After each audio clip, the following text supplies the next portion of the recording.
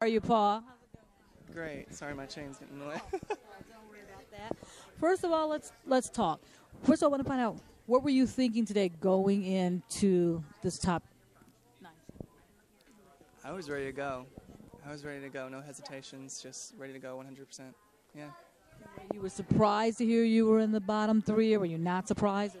You know, I, I've been telling everybody I had this moment this morning with God, and I knew what was going to go down, and I was prepared for it. You know, mentally and emotionally, because this is only the beginning. This isn't the end of a career. You know, this is a platform where people, you know, get known, and like I said, this is only the beginning. You never can. You never can know what the audience is thinking. You, you don't know if it's song choice or you just don't know how the audience can't see your audience. I want to find out would you change anything about this experience? I wouldn't change a single thing. Not a single thing. Not a song choice, not something I said, nothing. Because there's a reason behind everything that I said and everything that I sang, and I stand beside it 100%.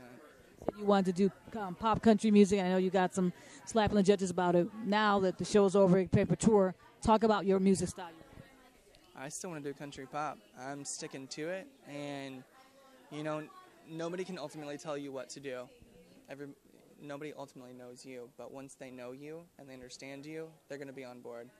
I mean, there's no, there's no doubt, you know, because if someone believes in something so much, it's going to shine through eventually.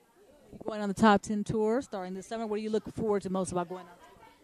You know, I'm excited to get back out there with the fans and you know have a good time and experience that and be on that live stage. It's going to be amazing. Yeah. Speaking of your fans, they're called the Jollies, as someone told me on Twitter. Yeah, yeah. I call them the troopers, and and there's jollies, there's jolly ranchers, you name it.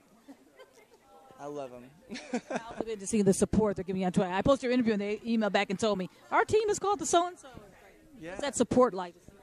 It, it you know it feels amazing to know that people care enough to take their time out of the day to even spend enough time to type something up just for me. You know, and even if it's bad criticism, at least they're talking about me. At least they're thinking about me, and I still love them just the same as the people that love me. You got a plaque today. Your home, your hometown made a Paul Jolley Day. What does that feel like to hear from a small town? It feels amazing um, getting all the support from my town. You know, it's a blessing. You know, it's very touching to my heart, and I can't wait to go actually see the plaque and read it, and wait to hang it in my place. You know, that's going to be awesome. Now, as the credit to Roy and Mariah started talking to you and she was telling you what kind of advice or what was she telling you?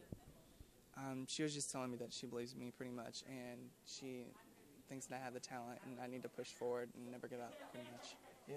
What's, um, and what are you looking forward to next? And you said you had original material out there after the tour, acting scene. What do you?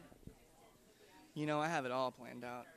I know it seems like I don't right now, but I have a lot up my sleeve. So I just hope people stay in tune, follow me, don't forget about me, because if you do, I'll just remind you.